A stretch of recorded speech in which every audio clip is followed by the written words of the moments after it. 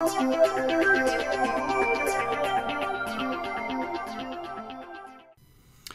few days ago, I received a nice comment from Daniel Weichert asking me to review the Alteryx gallery and to specifically go through the collaborate and share features along with how to use the private studio collections, scheduling, and overall features of the gallery. So I thought I'd run through that here in a short video. I won't be able to cover everything that the gallery does because it's a very deep tool, but I thought at a high level I could go through some of the features that might be of interest to most of you.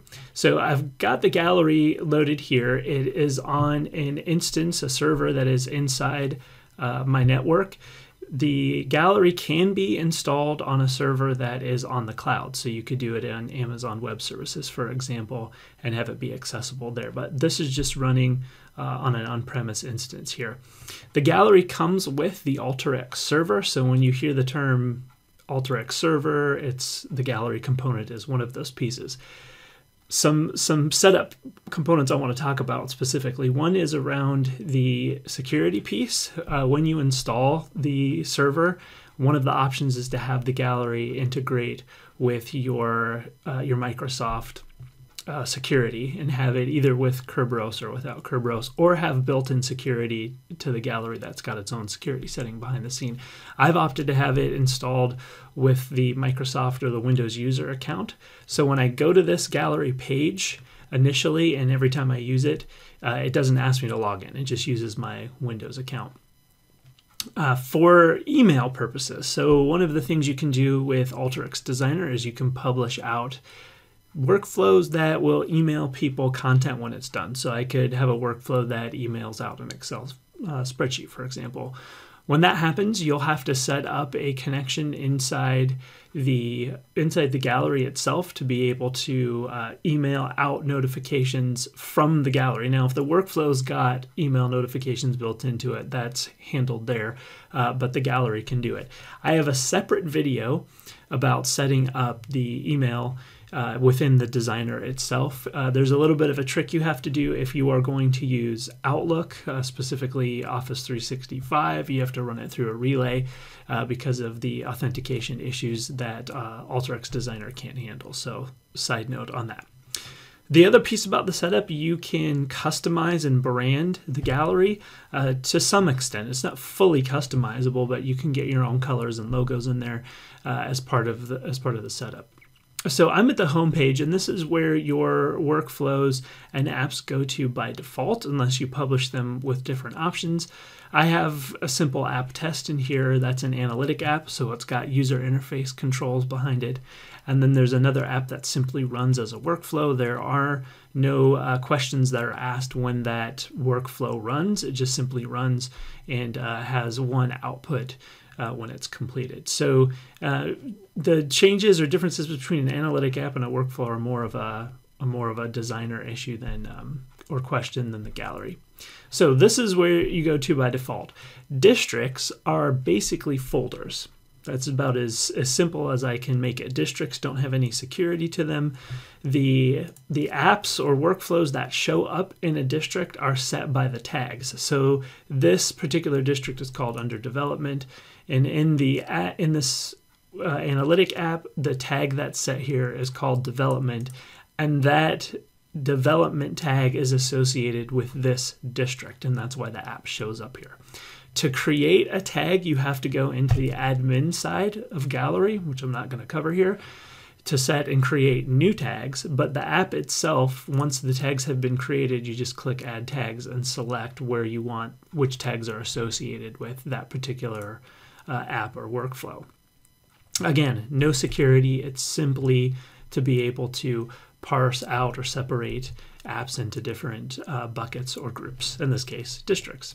Private Studio is exactly what it sounds like. This is your private folder. There's uh, nobody else can see this folder. Uh, all of the apps that you publish go here, and uh, you can just think of it as your home studio and where where you would go to work with some of the apps. Uh, I'm going to dig back into the app test for a minute and show you the beginnings of what some of the collaborate and share features look like. So for this example, there this app has been published three times. There's three different versions. If I click on the version, I can see the three times I've published it. I can select one of them and run that older version. I can also make the older version the new published version. I can also download that old version and start working with it and making changes to it inside Alteryx Designer. So the gallery ends up becoming your your collaboration space. It's kind of like the way that GitHub or any other version control platform would work. You can simply publish your workflows out here. You can get old versions, you can edit old versions, work with them uh, in that sense. Kind of reminds me a little bit of the way that SharePoint works. You can also run the app from here. We can just download the current version that's published. There's also a schedule button. So if I want this particular app, let's say it publishes or emails out an Excel file and I want to get that file every morning, I can click the schedule button and schedule this workflow to run every morning and send me the results. All right, where it gets really interesting is in the collections piece. So the collections are security and controlled. They are basically their own groups of apps and workflows. And when you click on one of them, I'm going to go into the clinical one, for example, because that's where my app test is. I can go to the users tab here and I can start adding users to this collection and only users that are part of this collection can run that app. And I can set specific permissions for each user in here and what they're allowed to do. There are different levels of, of permissions. So if you want to be able to prevent what apps people see, in, in my case, I have some apps that are specifically that only for HR folks that nobody else can see, then only HR staff are assigned to that collection. And those are the only apps, uh, not the only apps that they can see, but it prevents other people from seeing those, those apps. I can go and see old workflow results. I'm not going to go into that. And here's where I can get a list of all the schedules if I had any running. So let's switch back over to Alteryx Designer and I'll show you the collaboration and share piece from there. So inside the designer, what I have is a sample well, I call it a little more than a sample because it's this Titanic prediction example that I posted another video on that you can see if you want to know how that works.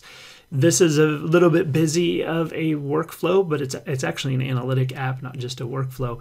It's got user interface components in here that I'm uh, assigning to an input node that asks the user for some input before it runs a prediction and kicks out a report when it's done. So from here, uh, let's say I didn't have any any workflow open and I wanted to load one from the gallery, I would just go to the file menu, choose uh, open workflow, and then choose the gallery. Okay, and the gallery will load and it'll list by default all my workflows. If I wanted to just work on only workflows and not analytic apps, I could do that. Uh, macros, simply just a, a, maybe I would define it as a as a a node or a a smaller workflow that you've set to perform a certain task, a custom task, and you can you can publish those out there as well. So I have that I have that app test out here, and that's what's sitting inside the gallery. Of course, there are versions associated with it, so I can see the versions and load one of the previous versions if that's what I wanted to work with. So what's nice about this is it ends up being your collaborate and share environment from that from that perspective. So uh, that's how I can get apps that I've already developed that are sitting out on the gallery. When I click the save button, once I've opened it, it's going to save it back to the gallery. It's not saving it locally. So you've got your version control built into there. Uh, if I were to run this app from here, I can run it as an analytic app. And when I do that, I will get the user interface window uh, as, as sort of a test so I can see what it looks like. If I go back and look at the the app in the gallery again, from there, what I can do is I can see what it looks like as if it as if it were going to run, uh, you know, run a normal app and the interface tools and all the stuff that comes with it. So let's go back to my private studio. There's that Titanic prediction. And let's go ahead and run it. I can also click the icon here and run it from there. And you'll see I get the questions as, as a user interface. So I can enter this passenger's name, choose the different classes, they're male or female. There's some spinner controls here for age, uh, more drop downs, and then click run. when I when I run that app, it's going to run in the gallery, and the output is going to be displayed in the gallery, depending on what I choose to output. Uh, in this case, it's going to display a simple table and an image, and I have options to output that particular display as an Excel spreadsheet, as a PDF, as a Word doc, HTML. There's a lot of different outputs that pop up as part of that app. So, what I really like about this is it lets me design a workflow that allows user input and then be able to save that workflow, schedule that workflow, go back and look at it, uh, and then have the user be able to get it out in a different format. It's one of the things that sometimes struggle with with with reporting services, uh, and and to some extent Power BI, where the output doesn't come out uh, in a format that's usable by the end user. So uh, it, it's it ends up being a very nice tool. So I think that covers most of the things I wanted to talk about. Uh, the homepage, districts, the private studio, how collections and sharing, how collections work, the scheduling component, version control, sharing and collaboration. Uh, I think that covers all of it. So, as usual, leave me a comment, drop a like, subscribe. Don't forget to click the bell to get notifications. Uh, let me know if there's anything else that's interesting to you in the analytics gallery. Possibly you want to see what's happening on the admin side and how that all gets set up. I'm happy to do it. Thanks.